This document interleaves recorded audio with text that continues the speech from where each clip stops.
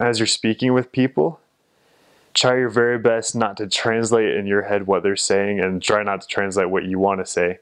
Just learn to listen and then respond, if that makes sense at all. Uh, yeah, just learn to listen to what they're saying and try to respond in Spanish.